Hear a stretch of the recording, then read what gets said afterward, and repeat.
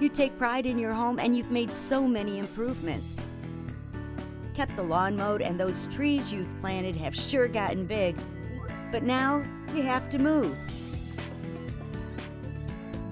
Are you looking for the right real estate agent to sell your house? The one that'll give you an honest assessment of what your home is worth in today's marketplace? One that's an expert in reaching the most people possible to get your home sold fast. Hmm, I wonder who that real estate agent could be.